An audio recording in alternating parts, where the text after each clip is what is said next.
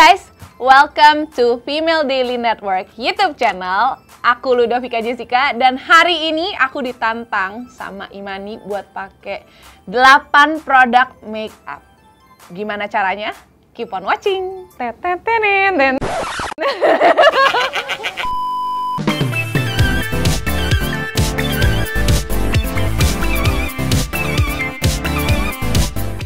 Jadi buat hari ini yang belum tahu makeup rutin aku, aku pernah bikin video sama Imani. Aku pakai kayak dua foundation, tiga concealer, tiga highlighter, dua blush dan sebagainya. Jadi sebenarnya tuh hari ini kayaknya gue tuh lebih ke arah ditantangnya tuh udah kayak mantap banget nih karena cuma dibolehin 8 produk.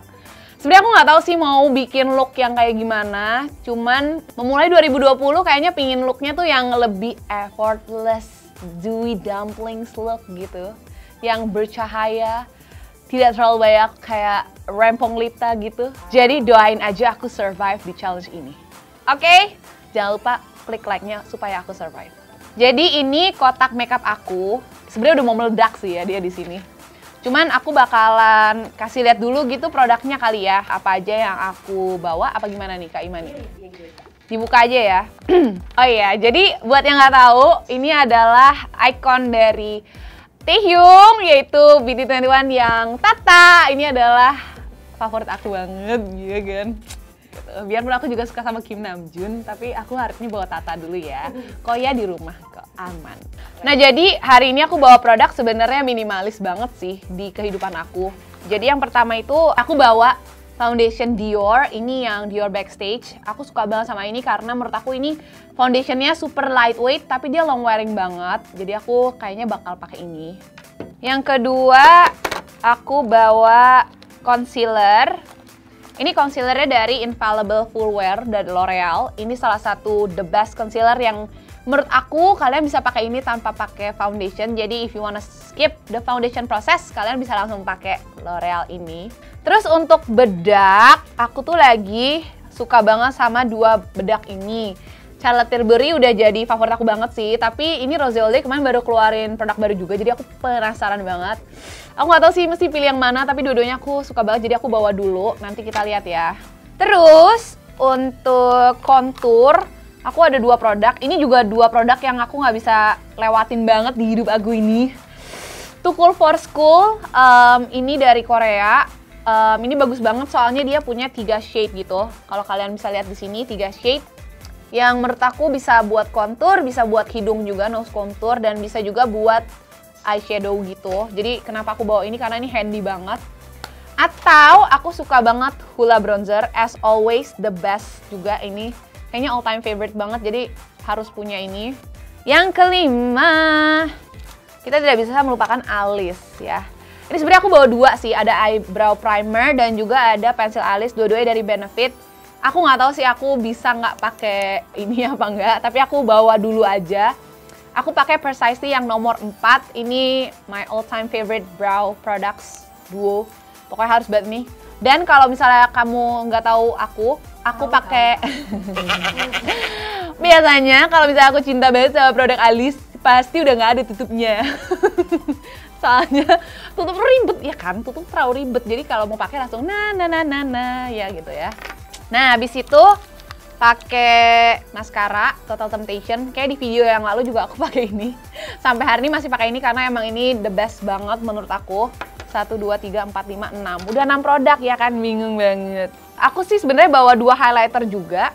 Soalnya ini dua produk lokal yang aku suka banget. Yang satu itu Matte for Makeup. Ini kayaknya produk baru deh. Dan menurut aku jarang banget yang ngomongin produk ini. Tapi menurut aku ini produknya bagus banget dia liquid highlighter gitu terus gampang pakainya cuman kayak di plep plep nah udah selesai gitu jadi buat yang naik ojek online gitu ya bisa pakai ini pas lagi di ojek gitu menurut aku satu lagi ini favorit aku juga dari SK ini yang um, Barcelona highlighter. Ini one of the best juga menurut aku. Warnanya cantik banget. Kayak begini. Jadi aku bawa spare dua. Dan yang terakhir ini aku bawa lipstick aku. Uh, tangan dong audiensnya. Aduh. Jadi aku bawa lipstick aku yang berkolaborasi sama Jekyll. Aku bawa ini namanya Easy Going Lip Star. Shade aku tuh ada dua, ada Diana sama Audrey. Tapi aku bawa Diana dua karena aku suka banget sama Diana. Dia tuh bener-bener all time favorite aku buat blush dan buat bibir. Jadi ini multifunction products banget. Buat kalian yang belum cobain lip star aku harus banget cobain. Karena ini limited banget dan dia ntar lagi bakalan nggak ada lagi.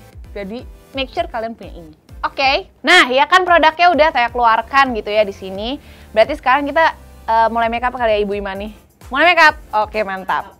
Sebenarnya ini gue kayak salah strategi sih. Ini gue udah mencoba ya untuk membawa sesedikit mungkin yang gue bisa bawa, cuman agak susah gitu. Jadi pertama aku pakai Dior dulu. Foundationnya aku bakalan pakai sponge karena uh, aku suka banget kalau pakai sponge bikin kelihatan kulitnya airbrush gitu. Nah, terus aku sukanya ya kalau foundation yang ada pipetnya gini, nggak ketahuan berapa pump pakainya. Nggak ada yang judge kita pakai berapa pump. Jadi pertama aku bakalan pakai di tengah wajah. Dan ini looknya tuh bakalan jadi look yang kayak buat hangout, buat ke office, buat yang mau ngedate. Menurut aku look ini bakalan super cocok buat kalian yang suka pergi dari pagi sampai malam, nggak pingin looknya kelihatan kayak lebay, tebel. Nah ini looknya kayak gini ya. Oke, jadi ini foundationnya udah lumayan rata. Sebenarnya tuh kalau aku ya, karena agak lelah kalau misalnya dan dan berlayer-layer gitu ya setiap hari. Biasanya sih kalau aku sehari-hari tuh foundation aku bener-bener segini aja gitu aku tahu masih ada imperfection, but it's okay kalau teman-teman itu setiap harinya nggak perlu semuanya menutupi uh, imperfection. Karena no one's perfect in this life. Jadi menurut aku hmm, pakai produk yang sampai harus nutup banget setiap hari stres gitu di kaca harus banget uh, perfect. Complexionnya nggak usah nggak apa-apa kok. Yang perhatiin jelat kamu pasti cuma kamu. Ya kan? Sama kaca kamu. Ya kan? Nah ini produk berarti udah pakai satu ya ini kedua nih, L'Oreal. Tulsnya dua? Itu Ah, aku siok. Siok banget. Ini beneran gak sih? Beneran, lu udah pakai dua dong sama uh, Beauty Blender. Enggak, lu ngerjain gua kan? Gua dikerjain, Fix. Serius. Gua dikerjain ya? Serius. Jadi Anda sudah menggunakan dua produk. Yang pertama ini. Oke. Okay. Yang kedua ini. Jadi Anda punya sekitar enam produk lagi yang Anda bisa pilih. Oke. Okay? Jadi ini tiga nih kalau gitu tisu enggak enggak tisu dihitung. Cumi. Ini gue mau naruh di sini. Gue dikatain cumi.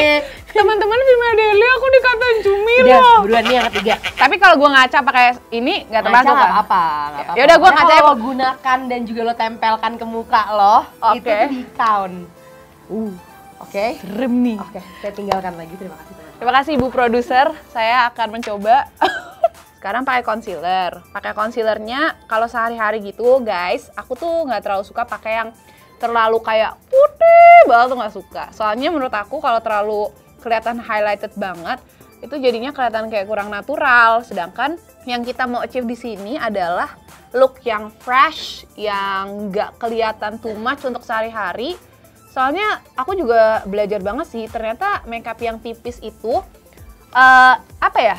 Lebih long lasting juga karena biasanya kalau foundationnya udah mulai sheer gitu, udah mulai hilang-hilang, dia malah nggak kelihatan karena warnanya mirip sama kulit kita. Kalau misalnya makeup aku yang pakai tiga foundation dan juga dua bedak itu biasanya pas udah copot, copot semua gitu setengah mukanya. Kan jadi kayak waduh, takut gitu ya kan.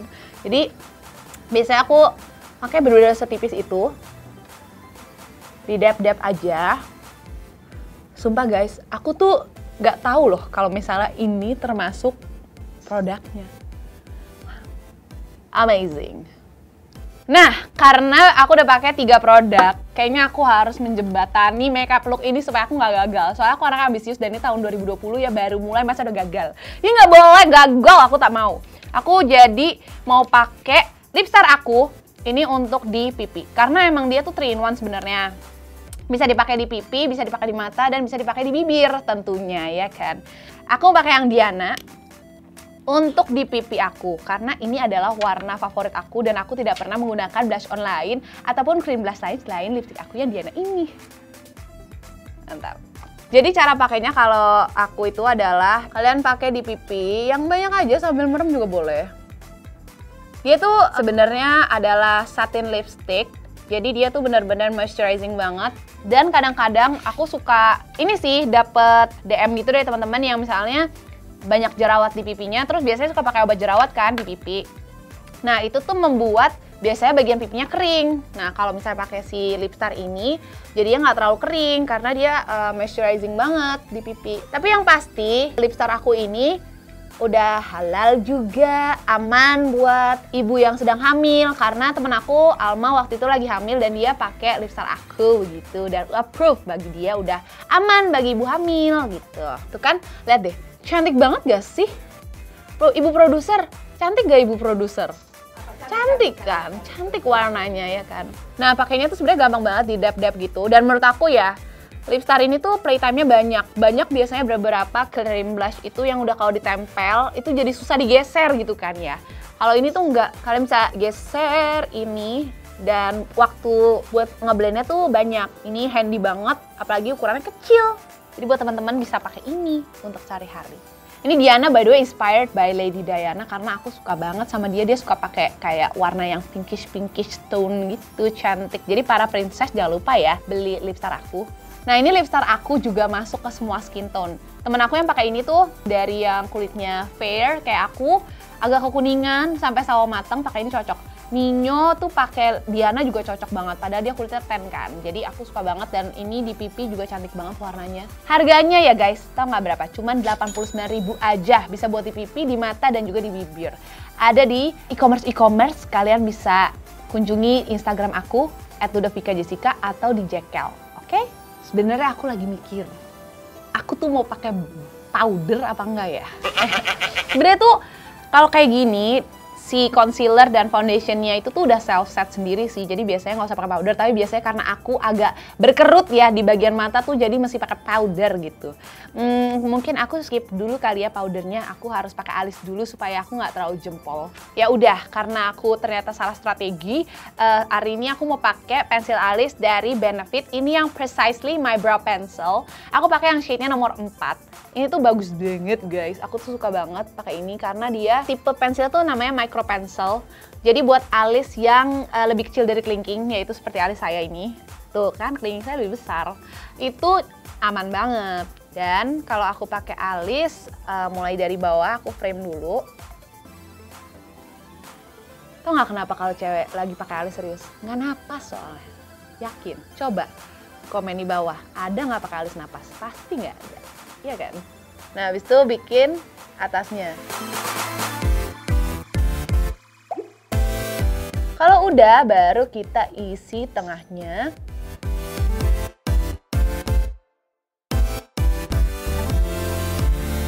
Oke, sekarang aku udah pakai alis nih guys, ya kan? Berarti udah 1, 2, 3, 4, 5.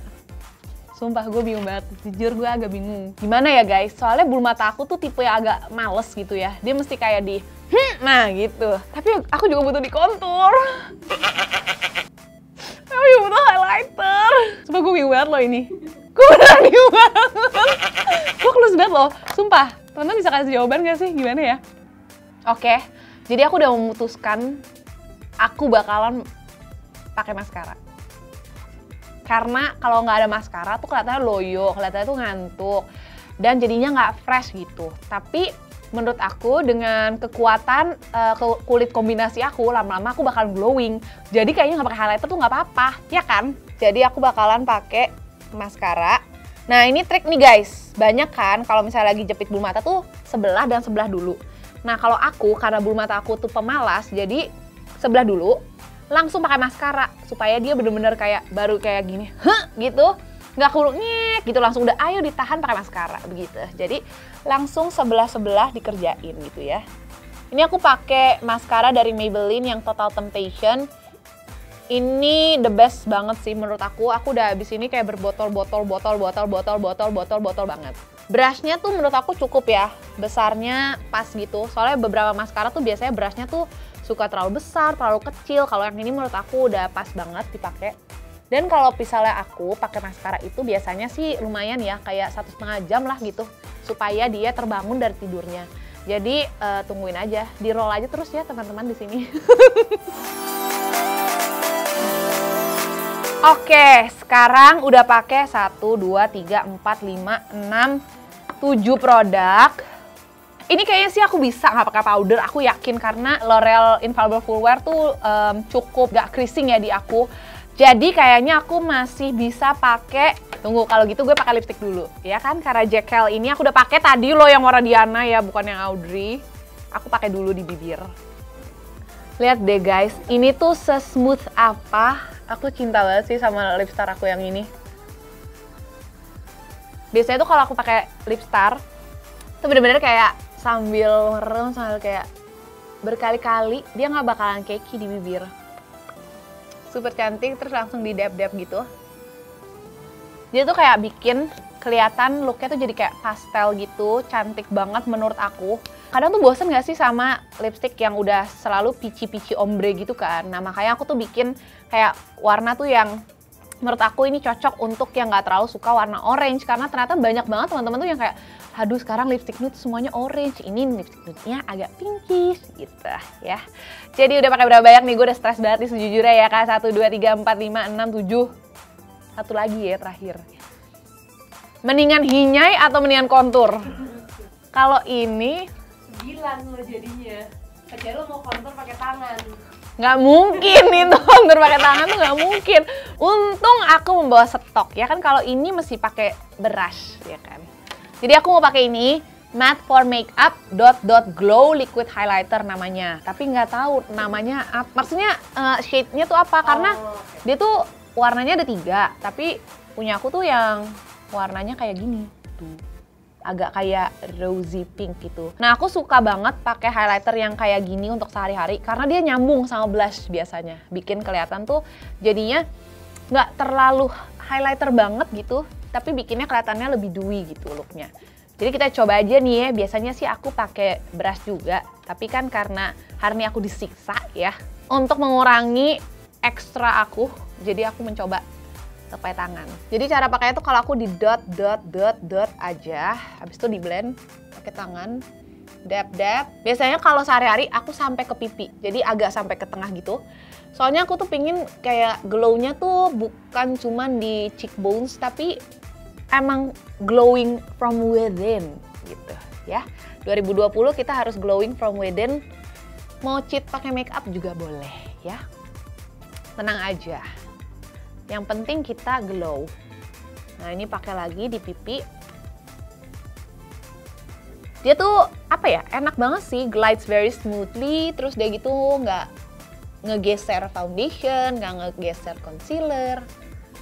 Sumpah kayaknya aku salah strategi, seharusnya aku nggak pakai foundation kali ya. Terus biasanya aku bakalan taruh di tangan kayak gini. Terus aku ambil sedikit di dap-dap buat di bagian dagu terus di bagian jidat tengah gitu. Sama sedikit di bagian hidung. Plus biasanya sedikit di area mata gitu di atas sini. Di bagian sini tengah. Supaya kelihatan eyelidnya tuh lebih broad gitu lebih besar. Coba ya kita recap lagi ya. Ini udah berapa? Pertama pakai foundation. Satu. Dengan toolsnya dua. Concealer tiga 4 pensil alis, 5 dan 6 maskara, 7 liquid highlighter, dan 8 Jekyll Easy Going Lipstick aku buat di pipi sama di bibir. 8. Berarti challenge succeeded! Yeay!